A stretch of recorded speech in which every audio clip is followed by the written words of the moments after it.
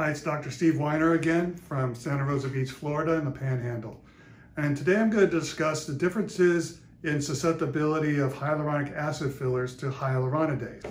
So basically, hyaluronidase is not approved to dissolve HA fillers, but it is used for that.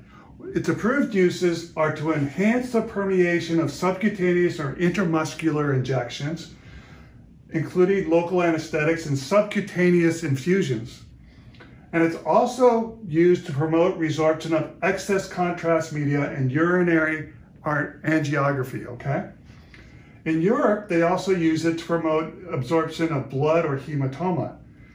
Also, one of the big things that it's used for is to reduce the tissue damage when you have extravasation of IV fluid, particularly chemotherapeutics. The off-label uses are to degrade hyaluronic acid fillers in the event of occlusion, uh, poor cosmetic result, or nodules, and sometimes infections. It's actually controversial whether you should use it in infections because it's theoretically possible to spread the infection when you use hyaluronidase. What's very interesting about hyaluronidase is that it's very similar across many species, including mammals, bacteria, and insects. But the way they act is slightly different because there are some differences.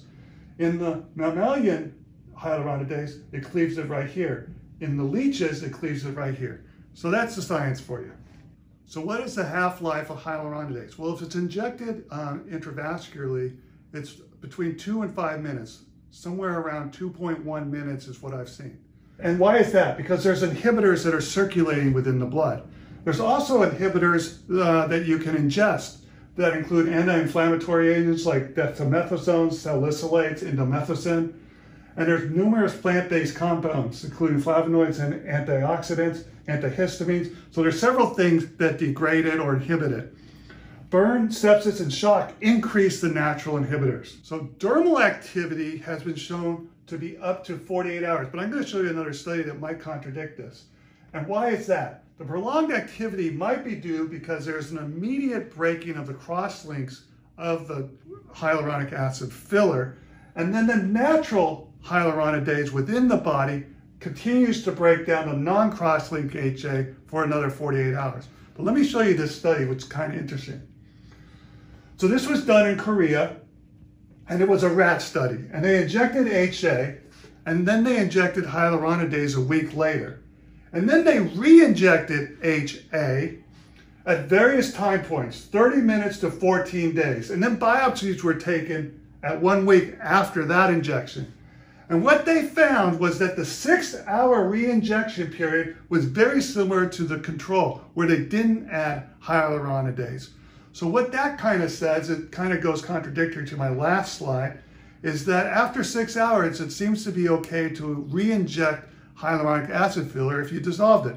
That's not what I do in my practice. I usually wait at least two or three days, but this study suggests that you might be able to do it in six hours. So allergies to hyaluronidase, people are all afraid of this. Let me just go through the nitty gritty about that. So it's reported to be 0.05 to 0.69 if you deliver mammalian hyaluronidase. So that is mostly pruritus, which is itching and erythema. Angioedema and urticaria, itching and swelling, severe swelling, occurs in less than 0.1%, less than one in a thousand people. If you do a dose that's over 100,000 units, which we don't do when we're trying to dissolve hyaluronic acid filler, it's a much higher incidence of allergies, so it's dose dependent. Most are immediate hypersensitivities, with, but there are some delayed hypersensitivities at 24 hours. The reason why people are worried about this allergy is because the previous mammalian derived products contained a lot of impurities. They don't now. They used to. So the purification process is much better now. So what is this link to bee stings? So hyaluronidase is found in bee stings to allow for that toxin to penetrate better. It facilitates the movement of the cytotoxic or neurotoxic agents through the skin. And there's 30% crossover between the bee hyaluronidase and the human hyaluronidase. However, within the bee sting are these several compounds, okay?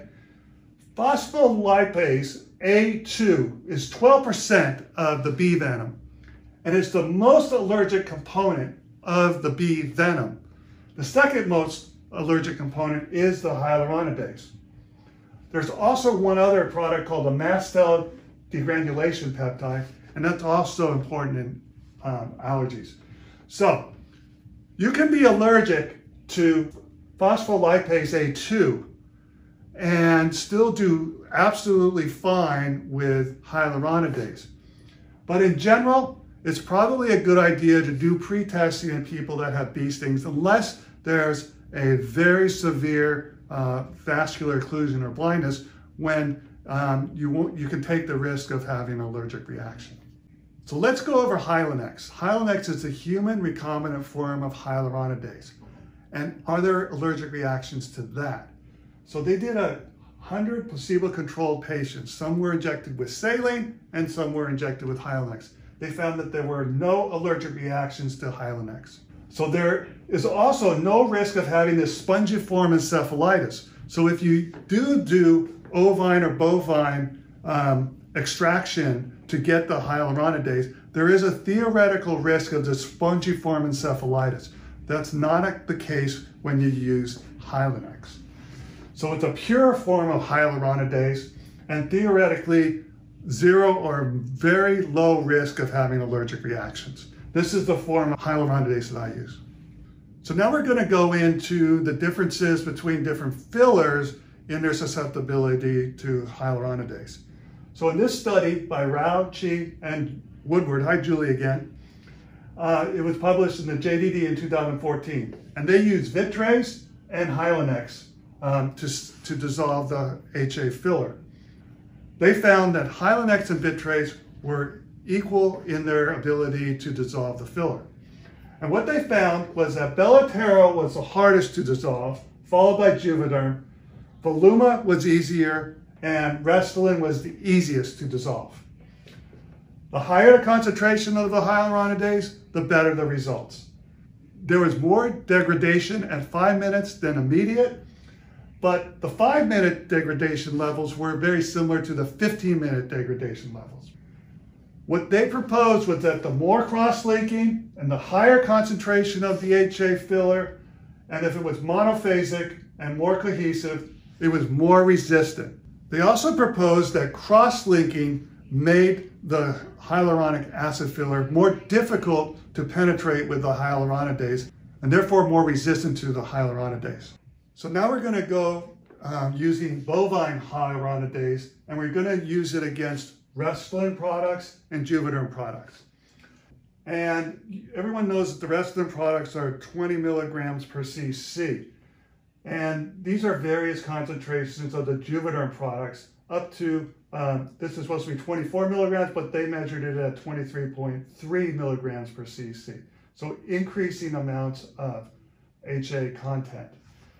They actually found that Juvederm, even with a lower HA content, was harder to dissolve than Perlane and Restylane, which had a higher HA content. So these are all relative rates of degradation. So what you can see here is that Juvederm 24, which is what we commonly use in the US, was about 50% harder to dissolve relative to Restylane and Perlane. So now we're using Vitrase, and we studied a smooth gel of 24 milligrams per ml, which is Juvederm, versus Restylane, and then one that was 5.5 milligrams per ml, which is no longer available in the States, which was Prevelle Silk or Hylaform. This was 2010. And they found that Juvederm was more resistant to degradation than all the others.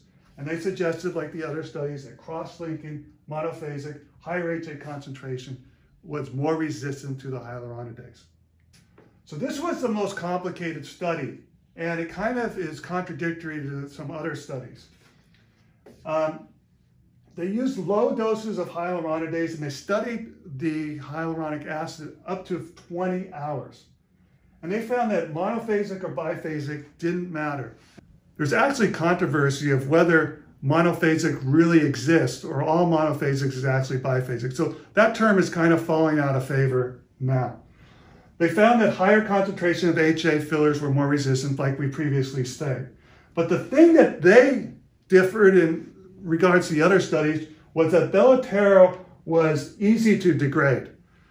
Unfortunately, Belotero is a very small player in this market, and so it's almost irrelevant where Belotero falls.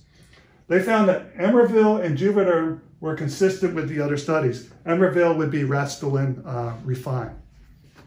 So here's the studies here, and Juvederm would be in the blue. And you showed that there was very little degradation of the Juvederm, but the Emervel, which is Restylane Refyne, and Belotero dropped off gradually over 20 hours. And this was with low dose um, hyaluronidase. So there was another paper in 2020, and they concluded that higher concentrations of HA and more cross-linking became more resistant. So we're seeing a theme here.